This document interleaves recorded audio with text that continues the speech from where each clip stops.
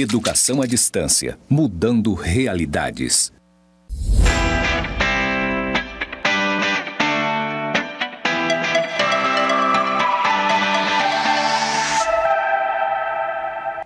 Olá, queridos! Chegamos à nossa web aula de número 4. É, meu querido, ó, tenho certeza que você está aproveitando demais esse conteúdo. Olha, chegamos até aqui. Eu tenho certeza que você também está dando continuidade ao curso da maneira, da melhor maneira possível. Você que é aluno de gestão comercial, você que é aluno de gestão pública, você que está assistindo aqui no nosso canal do YouTube, é o canal do YouTube do Instituto Federal de Rondônia, tem todas as nossas aulas gravadas para você, para você aprender. É, meu querido. Então fica muito à vontade vontade. Aconchega-se aí no seu sofá, na sua cadeirinha, no seu escritório, na sua cama. Só não pode dormir porque a aula do professor Alberto Viana está começando nesse momento. Nós já passamos três aulas lá que nós falamos de várias teorias administrativas, de várias teorias que trouxeram resultados e ainda trazem a sua essência moderna nas organizações, sejam elas públicas, sejam elas privadas, nos dias de hoje, não é verdade? E aí você começa a se perguntar, mas professor, todas têm relação? Tem. Todas elas, se você analisar na modernidade, no mundo contemporâneo, você vai ver algum traço de alguma teoria passada, inclusive que nós já falamos aqui, seja ela científica, clássica, burocrática, teoria sociotécnica, várias teorias neoclássicas que falamos, inclusive na aula passada, e hoje nós vamos ver mais duas que vão se complementando e trazendo ainda mais sentido a tudo aquilo que você vem aprendendo, a tudo aquilo que você vem acompanhando. Coloca na tela aí que eu quero te mostrar o que, que nós vamos trabalhar hoje, meu querido. Olha só lá, ó. vamos falar da teoria contingencial e também da teoria do desenvolvimento organizacional. E aí eu trouxe aquela linha do tempo para você não se perder, né? Falamos de todas essas teorias até agora e hoje nós vamos falar nessa web aula 4 a teoria do desenvolvimento organizacional e a teoria da contingência ou teoria contingencial. Está acabando em nosso conteúdo, pelo amor de Deus, professor. Quais são os objetivos dessa aula? Conhecer as teorias, que nós já falamos agora há pouco, entender a importância delas para as organizações com fins públicos ou privados, tá bom? Entender a continuidade do processo teórico destas teorias, tá bom? Para o desenvolvimento das organizações públicas e privadas. Vamos contextualizar cada uma delas para que você entenda da melhor maneira.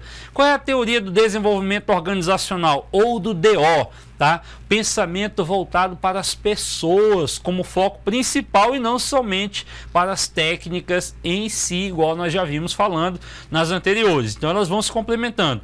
E também a teoria contingencial que preconiza a ideia de que o que há uma série de fatores que influenciam e afetam a organização. Vem aqui. O que, que nós estamos vivendo atualmente? Você com certeza está se perguntando: será que tudo isso que está tá se passando no mundo afeta as organizações? Com certeza tudo afeta as organizações, tudo, tá? É lógico, de forma positiva, pode ser de forma negativa. Teve empresas aí que, que se viram num momento de mudança, mas essa mudança veio para melhorar. Mas não vou adiantar não, vamos seguindo aqui. Olha só, então a teoria do desenvolvimento organizacional, pensamento voltado para as pessoas como foco principal, por isso que é desenvolvimento organizacional, tá bom? E não somente as técnicas em si. Quem faz parte das organizações? É lembrando lá da nossa web aula 1, as pessoas são quem formam as organizações. Duas ou mais, duas ou mais pessoas com objetivos comuns, tá?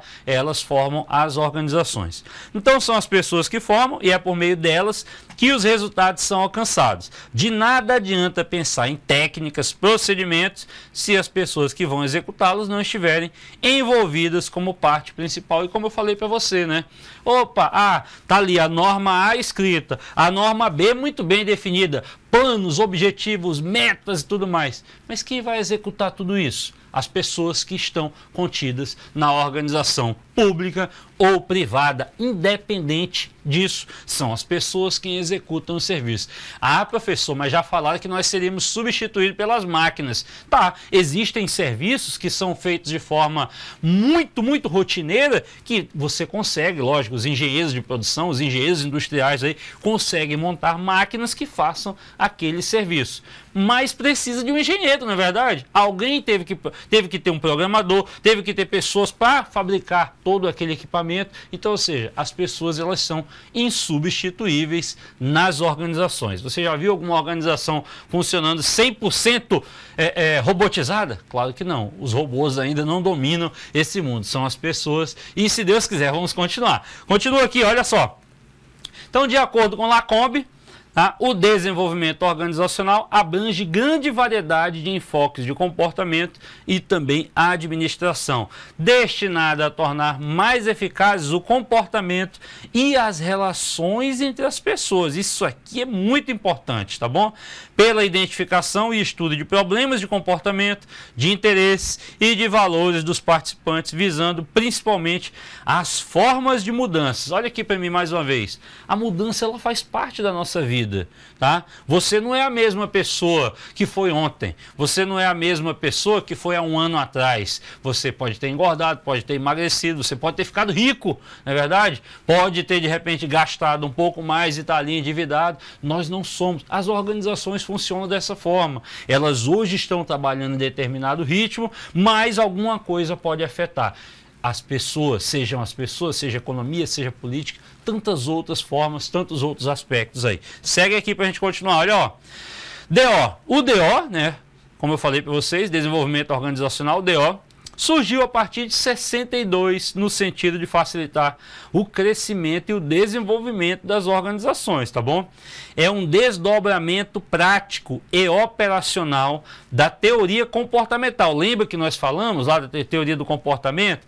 Olha só, então a teoria do DO é um desdobramento prático e operacional. Quem é que faz a, quem é que faz a prática? Quem é que operaciona? São as pessoas, tá bom? Não se trata explicitamente de uma teoria administrativa, mas sim de um desdobramento prático e operacional da teoria comportamental em direção à abordagem sistêmica. Eita, professor!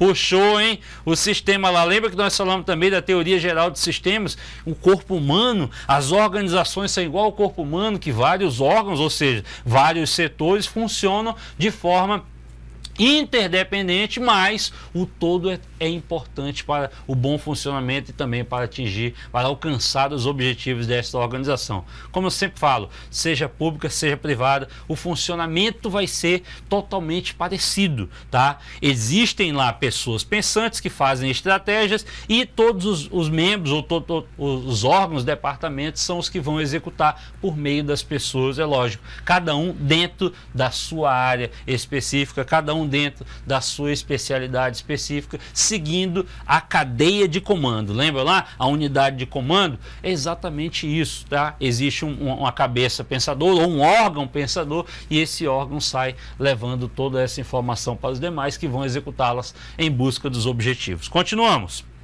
Teoria ainda. Leland Bradford coordenador de um livro, juntamente com um grupo de psicólogos, é considerado aí o precursor do movimento de DO. Tá aqui o bigodudo, né? Olha aí, ó. Bigodão dele aí, ó, bonitão, tá? Ainda, dentre outros fatores para a criação deste movimento, está também a pluralidade de mudanças no mundo, como o quê? Transformações rápidas e inesperadas do ambiente organizacional. Estamos vivendo isso, gente aumento do tamanho e da complexidade das organizações, nas organizações, tá? diversificação e complexidade da tecnologia, exigindo integração entre atividades, eita, entre atividades e pessoas. Olha só isso aqui, ó. Nós falamos inclusive na aula passada, volta aqui, na aula passada sobre a teoria sociotécnica, né? O, o, o, o social e também a técnica voltada para a tecnologia. As pessoas e a tecnologia. Tá aqui, ó, coloca no slide. Diver diversificação e complexidade da tecnologia, exigindo integração entre atividades e pessoas. E ainda mudanças, claro, no comportamento administrativo.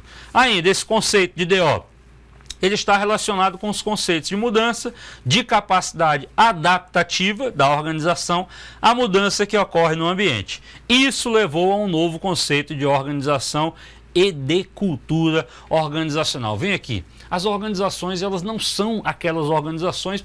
É, é, ah, tem empresas aí centenárias, professor. Milênia, não, milenárias também não dá, né? Ó, mas tem empresas centenárias, tem empresas aí que tem muitos anos. Vocês acham que elas são as mesmas desde quando foram fundadas? Claro que não. Elas foram mudando ao longo do tempo, se adaptando à realidade que vinha acontecendo. Passaram por crises, passaram por pandemias, passaram aí por grandes guerras, tá? Mas elas se mantiveram porque conseguiram se adaptar àquela realidade. Claro, muitas vezes sem deixar a sua essência de lado, mas mudando à medida que o mundo também ia mudando, tá? À medida que a tecnologia ia melhorando os seus processos e a forma de lidar com os seus trabalhadores e principalmente os seus resultados a serem entregues aí para a sociedade ou para o público como um todo, seu público-alvo, tá bom? Continuando aqui. Olha só, Aí criou-se uma cultura, né? Nós falamos de cultura, cultura organizacional nada mais é do que o conjunto de hábitos, crenças, tradições e valores de uma organização. Todas têm. É aquilo que representa a maneira tradicional e também costumeira de uma organização no seu modo de agir, fazendo com que todos os membros dela passem a agir dentro desta cultura. Vem cá, filho. Olha aqui, ó.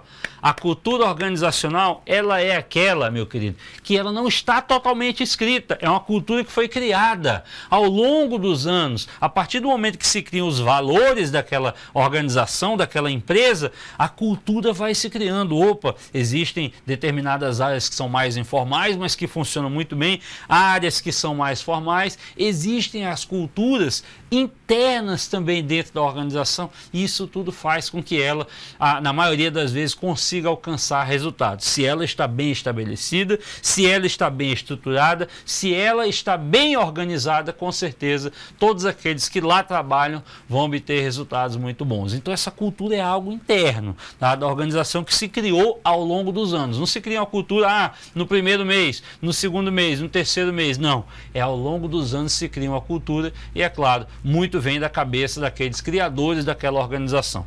Seguimos. Clima, lá no seu material também fala do clima organizacional, que constitui o meio organizacional e está intimamente ligado à moral e à satisfação das necessidades dos membros da organização. Vem cá de novo, meu filho. Um clima organizacional. É porque está chovendo, é porque está frio, é porque está calor? Claro que não, meu filho. O clima da organização.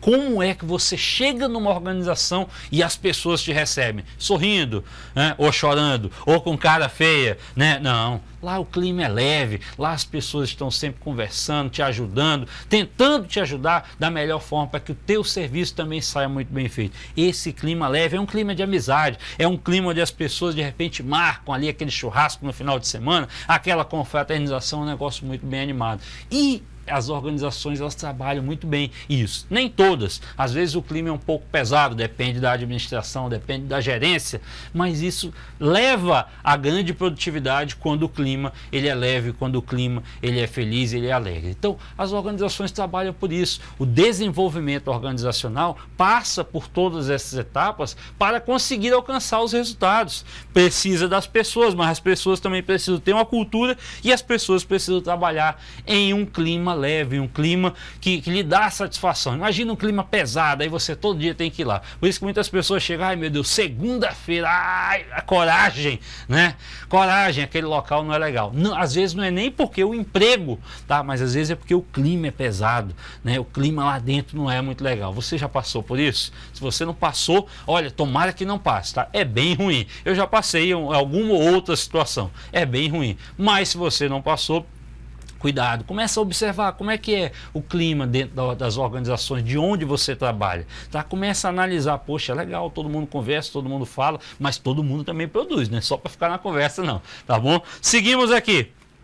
Então, a teoria do desenvolvimento organizacional e o que de fato é esse desenvolvimento, esse DO. O foco principal está em mudar as pessoas, assim como o ambiente que circunda as relações de trabalho, as consequências desta mudança podem alterar a cultura das organizações, isso aqui acontece muito, tá bom? Uma vez que as pessoas estão em constante processo de mudança. Ainda, dentre seus pressupostos básicos estão o quê?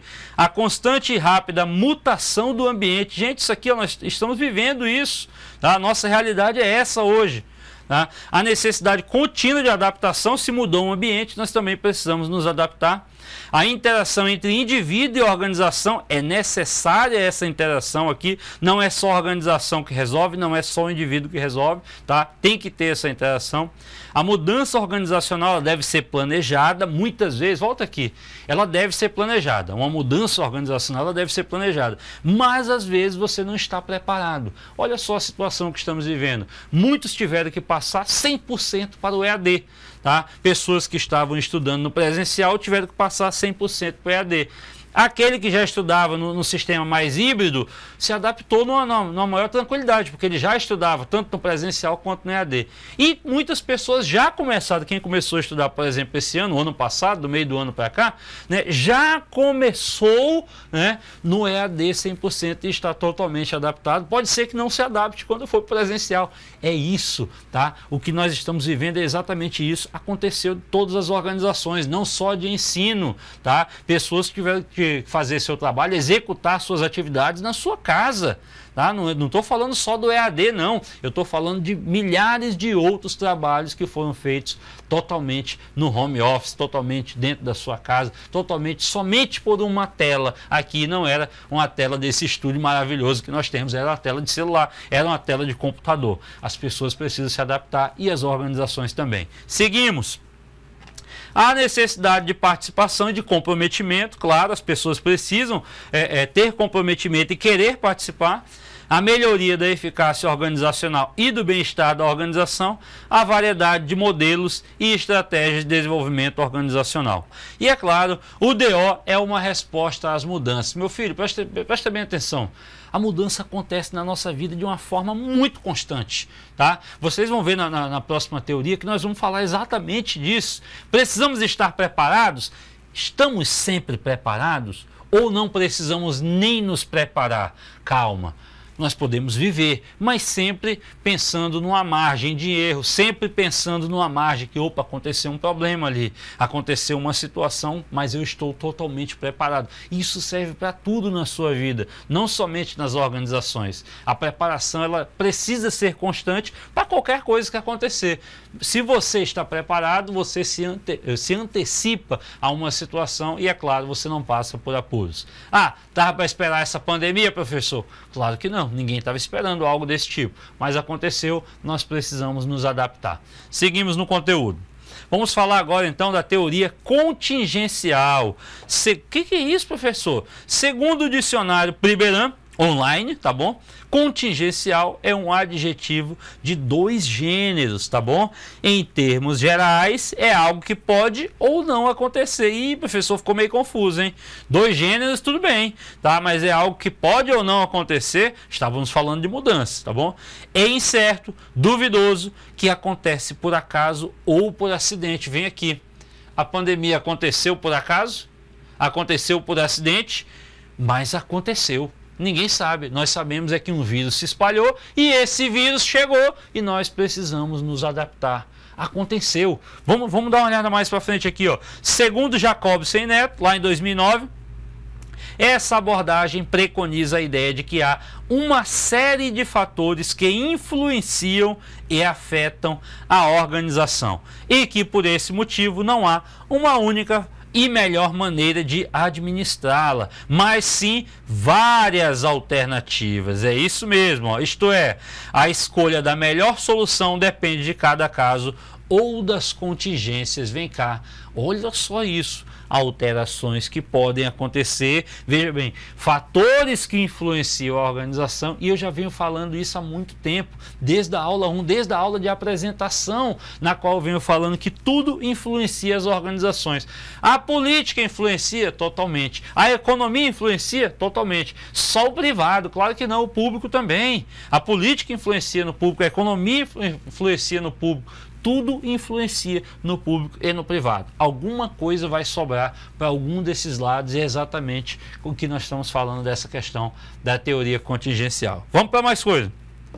E aí eu trouxe aqui para vocês, inclusive, a imagem de várias mudanças. Né? Nós passamos no ano aí por quatro estações. E essas estações, olha só o que acontece com a árvore aqui ao longo dessas quatro estações no ano. Não é verdade? Ó, uma hora ela está mais cheia, outra hora está tá, tá secando, tá, tá nascendo, está mais seca, tá? Assim como aconteceu com a evolução do homem, né? Ó, até onde nós chegamos aqui, de onde viemos, essa aqui é a teoria científica, na verdade, e onde nós chegamos aqui, teoria da ciência humana, tá bom? E o que, que seria essa teoria ainda? Nada é permanente exceto a mudança. Vem cá.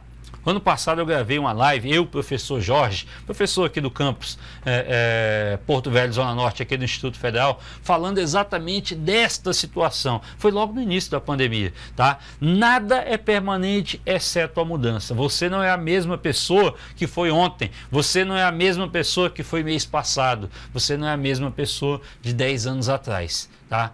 Você mudou, as coisas mudaram, as pessoas mudaram, a forma de ver as coisas mudaram.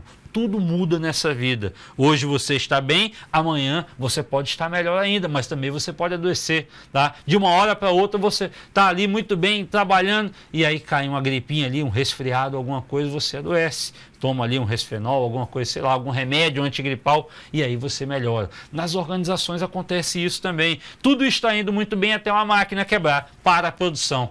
Deixou de produzir mil unidades por dia, deixou de produzir 10 mil unidades por dia. Ah, tá tudo funcionando muito bem, um sistema simplesmente travou e parou todo o sistema de produção. Opa, parou, a fábrica parou. O que, que vai fazer? É um sistema. É um vírus que se instalou nas máquinas, é alguma coisa que aconteceu que se simplesmente travou. Estávamos preparados para isso? Não. Ninguém estava preparado. Pode até ser que estava, ah, a energia foi embora, mas nós temos o gerador. E o gerador começou a funcionar, só que ele não tem capacidade para atender toda a produção. Então uma parte vai ficar comprometida. É isso que acontece. Nada é permanente, exceto a mudança. Já dizia ali Heráclito de Éfeso, na verdade lá na, na, mitologia. Então você começa a pensar, meu Deus, professor, e isso acontece mesmo nas organizações? Claro que acontece. A teoria, ela nada mais é do que uma prática, uma vivência acontecida, tá? ou algo necessário para que se mudem as coisas, ou para que se mude a forma de pensamento. Você está aqui estudando, você está aí assistindo a minha aula da sua casa, do seu trabalho, na sua cama, no seu sofá, na sua mesa do home office, mas você você está aí estudando e aprendendo. Tu está mudando a partir de agora que tu está aprendendo coisas novas. Tu está aprendendo a minha disciplina, a disciplina de outros professores, e isso vai te levar a um outro patamar da sua vida, um outro patamar, é lógico, intelectual. E é claro que vai afetar a sua cultura, vai afetar o seu lado social, porque você vai começar a se é, é, comunicar com outras pessoas, porque você agora tem um novo conhecimento. É isso que acontece na nossa vida. Seguimos. Então, outro fator foi exatamente o coronavírus. Né? Falei tanto da pandemia aqui que você começa a se perguntar: meu Deus, professor só falou verdades ali. Claro, existem tantos outros fatores tá, que podem acontecer na nossa vida e que vão fazer mudar o nosso jeito de agir, o nosso jeito de pensar, a, o jeito das organizações começarem a trabalhar, a tratar também aqueles que estão lá dentro. Houve desemprego, mas também teve empresas que cresceram muito e passaram a contratar mais ainda do que antes. Isso acontece na nossa vida. Nada é permanente exceto a mudança. Então, não podemos afirmar que esta teoria se aplica na administração pública. Não podemos afirmar, uma vez que ela permanece inalterável na maioria de seus processos, quando se trata de ter que realizar alterações de última hora. Por quê? Na administração pública, por que não dá simplesmente fazer uma mudança de última hora? Porque nós precisamos atender à lei. Tá? Existe uma lei maior que nos rege, que nos regulamenta. Então nós precisamos primeiro verificar o que, que a lei nos permite fazer. Ah, não dá para fazer uma mudança simplesmente de última hora. Não, não dá. Tem que sentar, analisar o que, que nós vamos atender à lei, tá? o que, que a lei permite que a gente faça. Tá?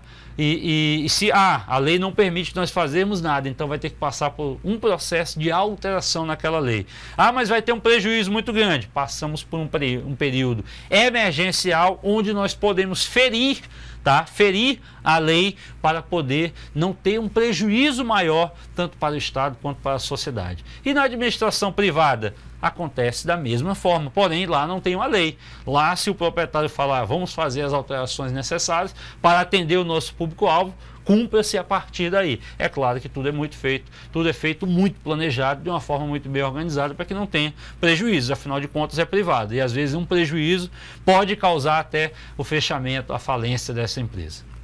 Seguimos.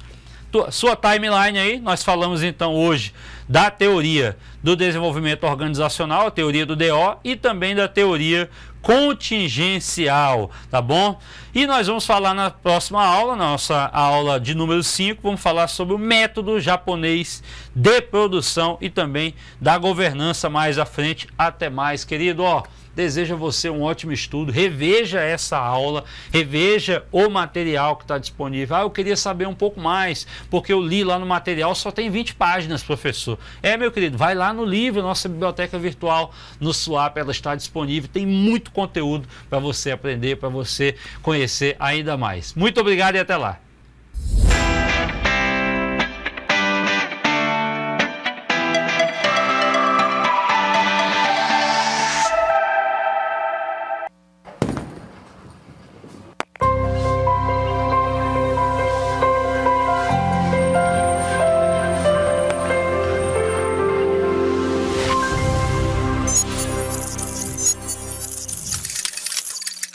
Educação à distância, mudando realidades.